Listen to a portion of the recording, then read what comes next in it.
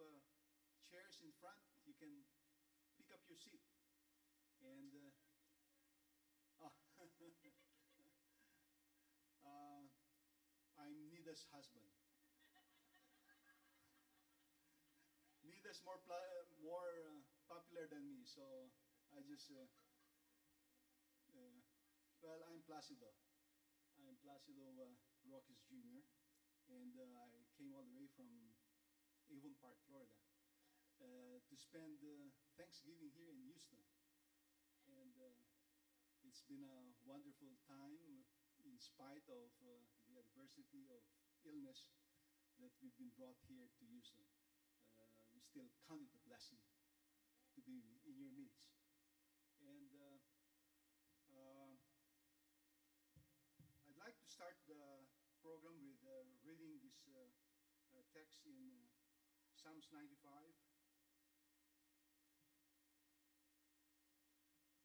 Psalms 95, King David says, Come, let us sing for joy to Yahweh.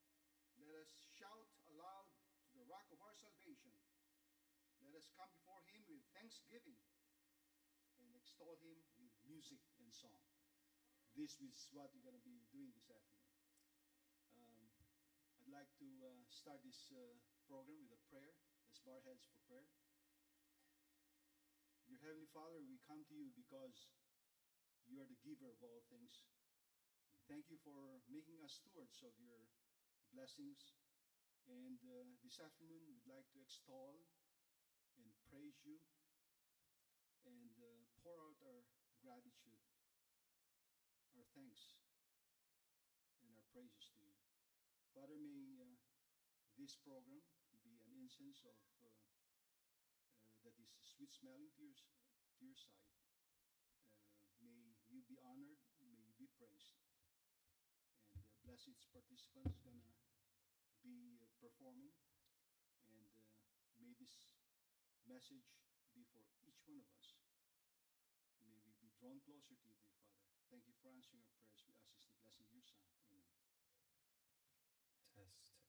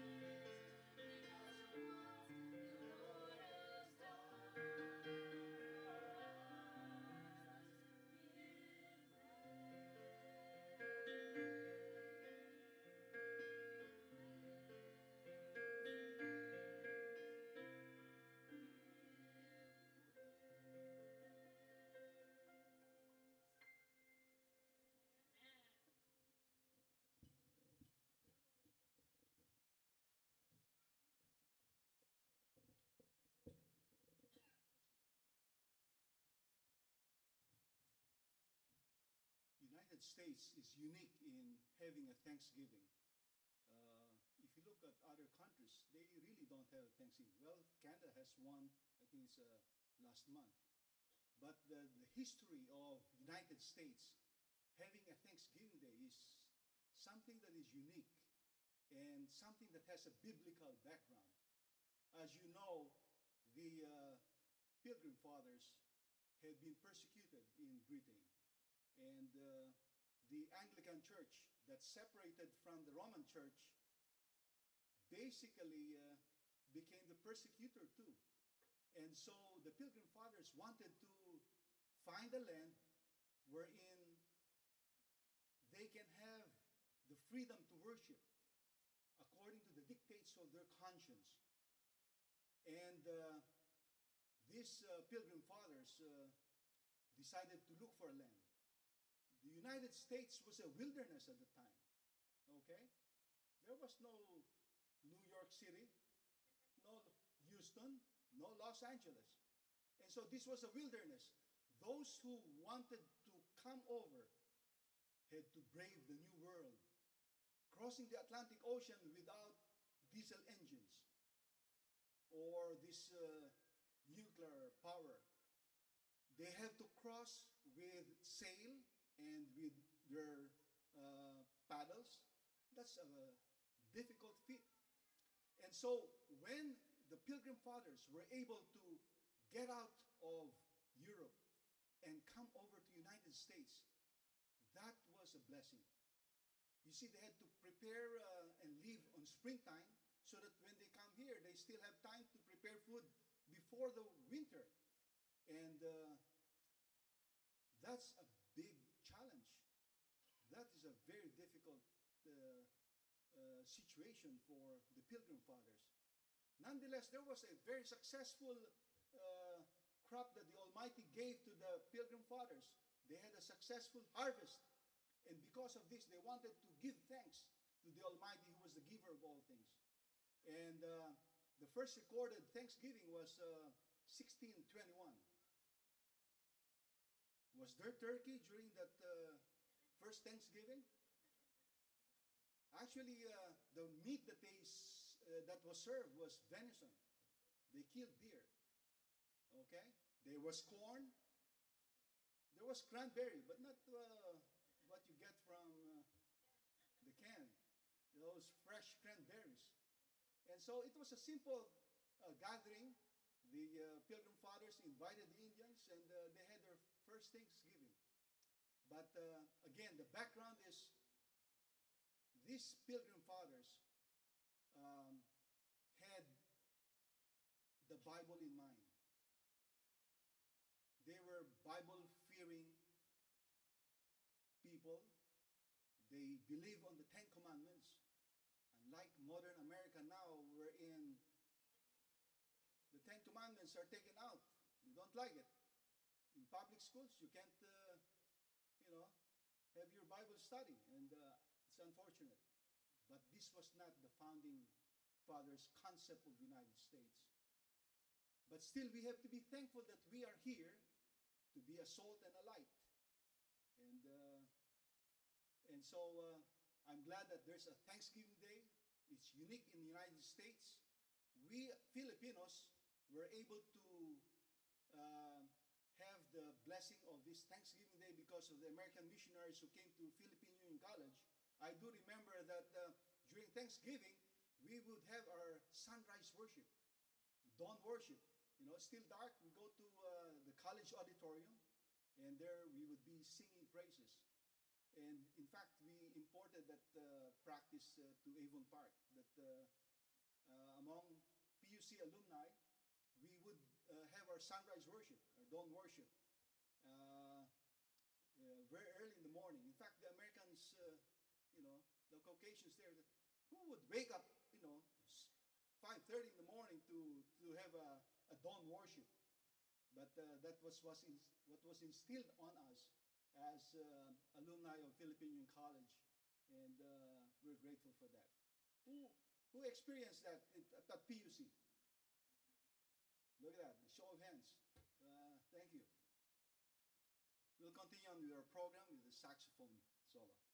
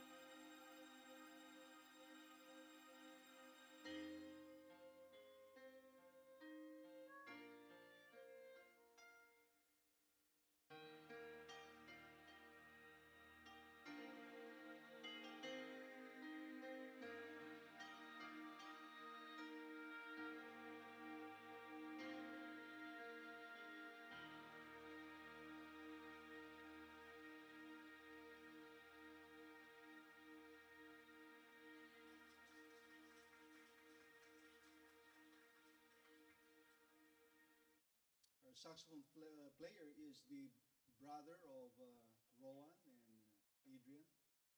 There's their youngest, uh, Anthony Ray Asumbrado. Okay? I'd like to uh, introduce the parents too, Roy and uh, Stella, coming who came all the way from uh, Avon Park uh, on on Thursday. You know, so we're glad to have them. Um, so. Uh,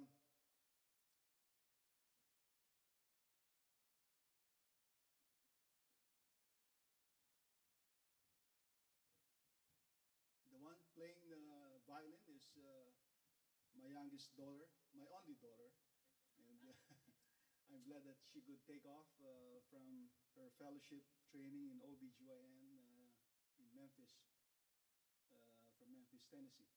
And so she is with her cousins, and uh, uh, we let them play a special number, after which I'd like to uh, say some testimony, and afterwards I'm gonna invite those who would like to express their gratitude, who would like to express their blessings, just like um, what the sermon has been entitled, Counter Blessing. So we'd like to hear your testimonies of uh, thanksgiving uh, later on after this number.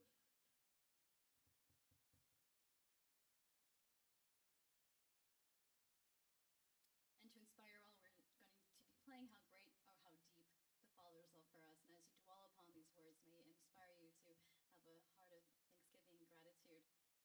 Um, and like my dad said, these are my cousins, and uh, this is the first time I've ever played with them like this. So this has been uh, a, a, a fun opportunity for me to collaborate with my cousins and come up with something.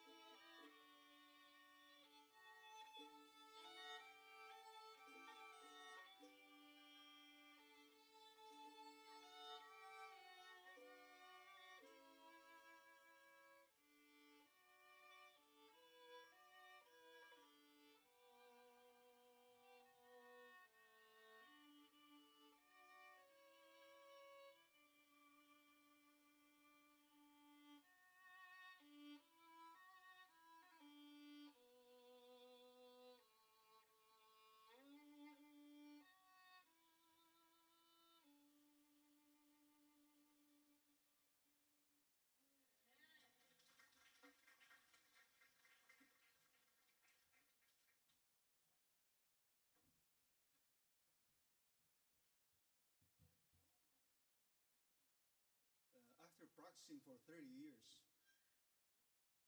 um, little did I know that I would uh, go to be an employed physician rather than the employer. I said to myself at the start, I want to be the boss. I want to, you know, dictate and uh, uh, want uh, how my office has to be run. But after 30 years, for some reason, I made my change. I became employed rather than the employer. Little did I know that uh, something was on the horizon. Um, in this uh, setting where I am employed, I can work one week on and then I'd be off another week. So it's just like a hospitalist. Uh, I became a surgicalist. And uh, little did I know the blessing that would occur because my wife uh, had a fall in June. And I started my uh,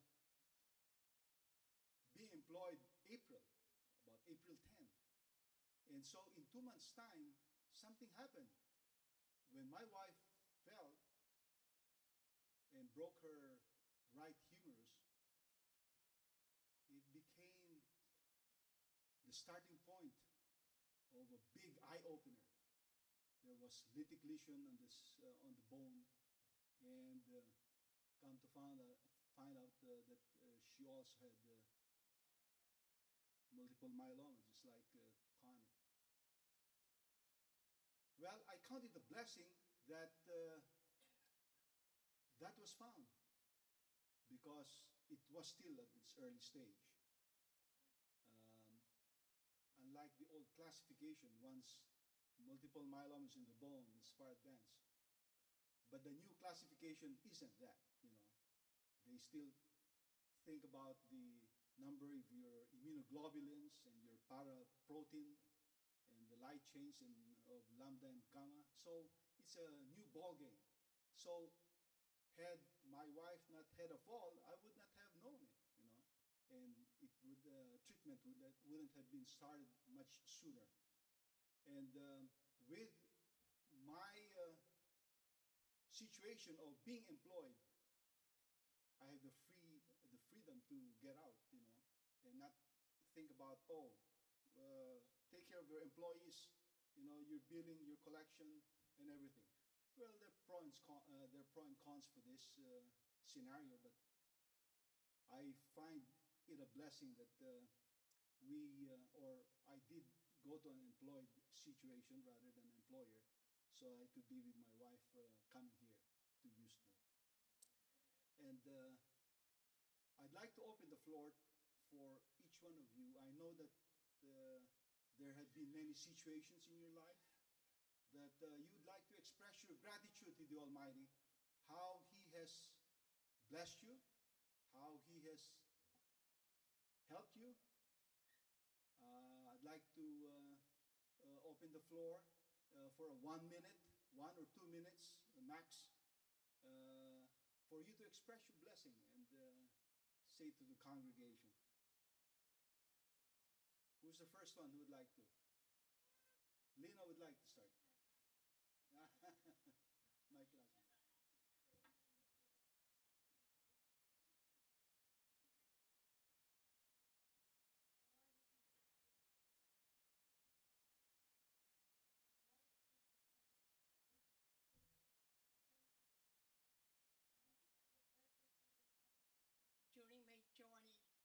As you know, last January I was diagnosed with cancer.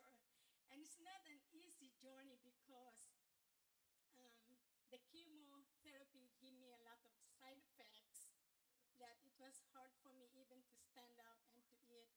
But because God is always there, God, during the time of my illness, uh, God's experienced His love more than before. He always tapped my shoulder and he always said, You're not alone. I'm here to be with you. And I think I learned here that God, um, I'm very thankful to God that I learned to trust, I learned to be humble, I learned to restore my strength. And if you remember, then you start the word nutrition, exercise. What is W? Water,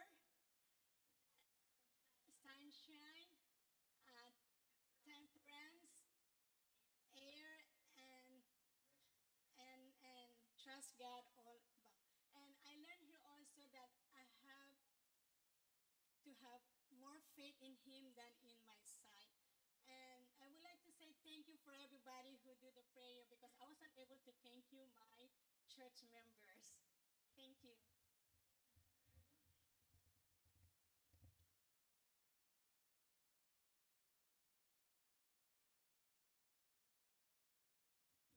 I want to say something. Um, today is my parents' 35th anniversary, and that's that's why my mom is dressed in white today. And um, you know, it's um, it's been a blessing that I get to be here with my parents. I know my brothers wanted to be here too, um, but they both have their children that were recently born also in the last couple months, and so it's difficult for them to, to travel. I know, I know, our mother wanted us to be together. You know, it's every mother's dream to have their kids together. Um, it's also their dream that their kids, you know, become successful, and unfortunately, it also means they go away. so it's it's kind of this catch twenty two. You know, you want your kids to stay at home, want their kids to be successful. You know, one or the other, right? So, um, uh, yeah, I just I'm I'm I'm so thank, thankful um, to my heavenly Father that my mom's doing well. Um, you know, she's in her third cycle of chemotherapy, and she's looking just as beautiful as ever, mom. But I, I um, and so that's you know that's my number one you know gra- gratitude, and also like my dad said, because he is now employed, my mom doesn't have to work anymore, and it was just very convenient that she didn't have a job and a convenient time for her to get sick. so you know there is there is definitely a lot of silver linings here, and um, I um, of course we're here too. We wouldn't be here if she wasn't here. so um, and thank you so much also for the wonderful church service this morning. I was really blessed by all those who participated.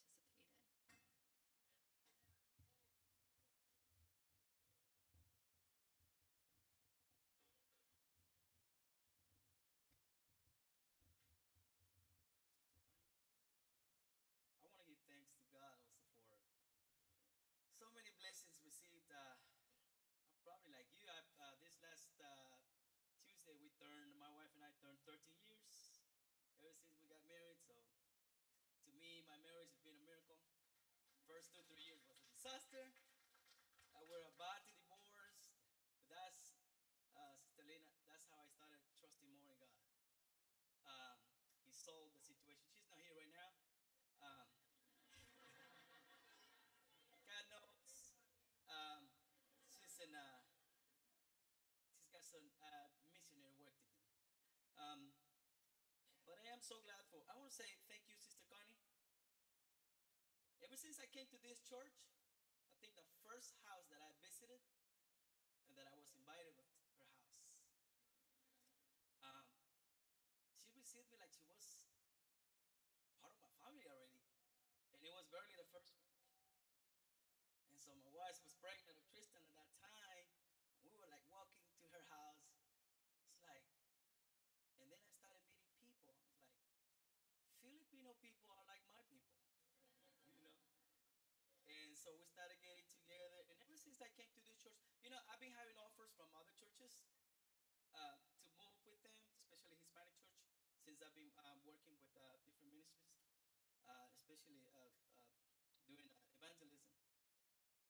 But I tell my wife, I don't think I'm going to leave the Filipino church. I want to stay here. I love, I love these people. I love my, my, my family, my church. But I want to thank God for um, the multiple blessings. Ever since, uh, every time I see my kids, I think I was eight years old, the age of Tristan, when I played that I wanted to be at least 25 years old if I survived the war that we in my country. Because at that time it was all shooting and bombing and all of that, so we just didn't know we were gonna make it. For, for all of you who don't know but where I come from, uh, I come from El Salvador, Central America. I lived 12 years war. It was it was terrible. It was bad. But anyway, it's I survived. And every time I see my kids turning this last uh, Monday, tr- uh, Max turned five, I was like, I can't believe I, I'm, I'm living this. At this point, I'm feeling like this is the plan that I never thought I would never, never ever realize. Having a wife, kids, a house. I mean, I've been being blessed uh, by God with uh, so many things. But the best or the most uh, blessing that I ever had was to meet Christ. My life have changed ever since I met Him. And a lot of you know where I come from drinking, and becoming an alcoholic, and living on the street, whatever. It was terrible life. But I survived, and I'm here at this point because of Him.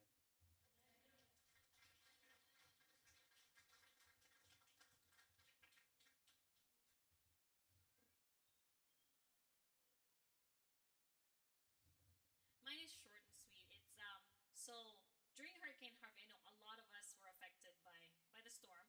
Um, two of us here actually in, church got flooded, and um, but uh, I would say that even though I got my house got flooded, I still felt like it was a blessing. So I didn't find out. I found out that my house flooded on the news because I was at home. I'm watching TV. Oh, I know that place. That's my house. and so I, uh, the, the first blessing I felt was that I didn't feel the stress of seeing the water coming into the house. So, because I talked to my neighbors and they were so stressed out, you know, just seeing the water come in. I guess they're imagining, oh, what am I gonna do? What's gonna happen? I was at my brother's house uh, because we were. I was on the prep and recovery team at the hospital, and my brother was working, and so we couldn't leave, you know, the two girls and just memories. So we ended up not going to work. Well, they ended up not going to work because it was already flooding. So we needed to be safe. So we all stayed. But yeah, um, so that was one blessing. And then the next thing is, since I was not at home, um, when when we went to look at the house, there was this one car that was already underwater on the street that I that I live in. So my car was saved. Um, I know my house still needs to be worked on, but you know I have a place to stay. I I'm um, camping over at my my niece's bed, but it's I feel like it's still such a huge blessing to have family friends. I have had um, a lot of um, blessings that I did not expect. You know, people have helped me, and I guess just me sharing um, what I've been through and sharing it with other people, I think it has helped other people too because I know I have a lot of coworkers who's also been affected, but they're just so they get so depressed to face that. And I and I, and I shared it with one of the worrisome, but I believe I've always believed that God does not give you anything that you cannot handle. So I figured that's something I guess I can handle because I've gone through it.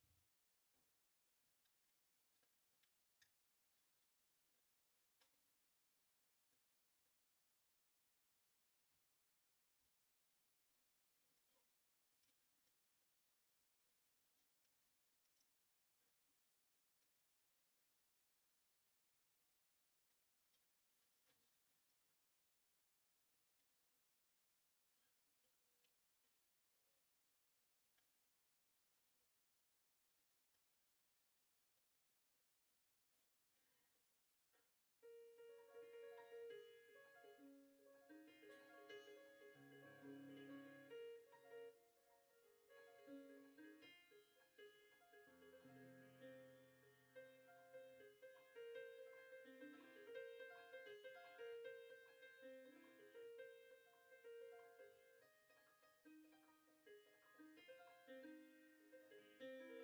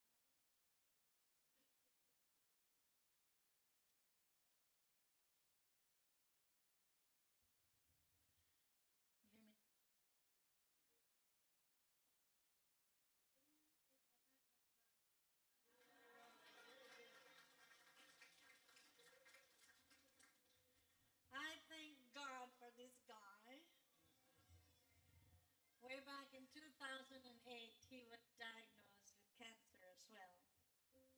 He suffered a lot. We thought he would not make it. He's been saying, if I could have, if I could reach 70 years, I'll be happy. Today he's 69. I do thank God I still have this guy. And I thank God I'm strong enough have been retired. I miss my savings. But I'm not going back to work. It's just so nice to uh, slowly reach the goal of why I retired. My diabetes is getting better. Thank God for that. And slowly I can feel that I'm losing weight. and I thank God for that. Most of all, I, I thank God for my family and for my church family.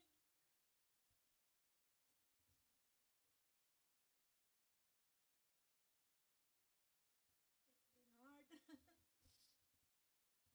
it's been hard when uh,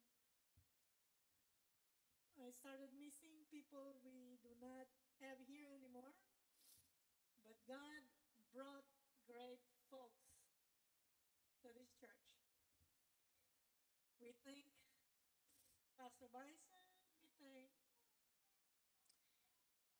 Brother Adi, Sister Modupi, the Yanitzes, and all those great people that God brought to this church to make it even greater. And I'm very thankful for the young adults of this church.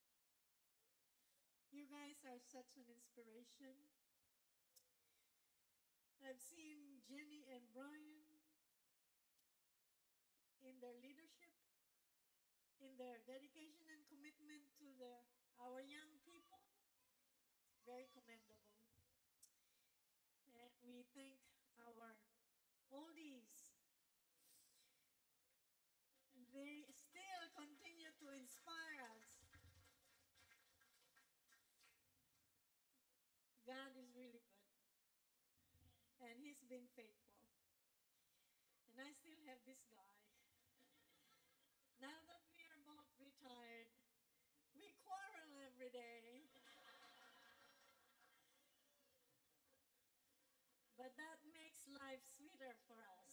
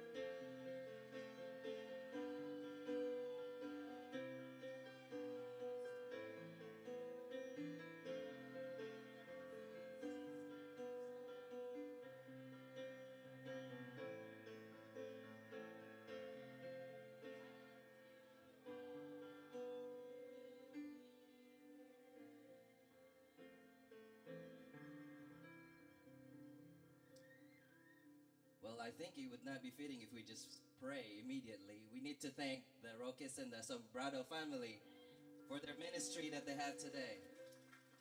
I think they have not only inspired us through music, but by allowing us to share our testimonies too, we have become part of this presentation that they have given to us. And it's such a blessing. And we pray for more power from God above as you continue your ministry wherever you are. Amen. Can all the church say amen? Amen. I know that you have received the blessing. Let's all pray together. Dear Heavenly Father, what a wonderful Thanksgiving Sabbath that you have given us. All the way from Sabbath school to now after our musical presentation, Lord, we have been so blessed just remembering your goodness and your grace, your mercy, your love that we can't even enumerate all of them, but you have just been so good to us. And this afternoon, we have been ministered to by the Roquiz and the Brado family. And we are so thankful, oh Lord, that you have been with them and they even in their travels all the way here to Houston, Texas, just so they could be with their family and they can also minister to us and inspire us and encourage us. What a blessing that is. And Lord, as they continue wherever they are, may you bless the work of their hands. That in whatever plans that they have, they will always remember you, giver of every good and perfect gift, as we have learned today. Thank you for blessing each one of us and protecting us as we go all our separate ways to our respective homes, knowing, dear Father, that today is not the only day to celebrate, but every day is a day to rejoice. We rejoice in your goodness, grace, and mercy. We give you all the glory and the honor, we pray, and say all these things, all God's people say together, Amen and Amen.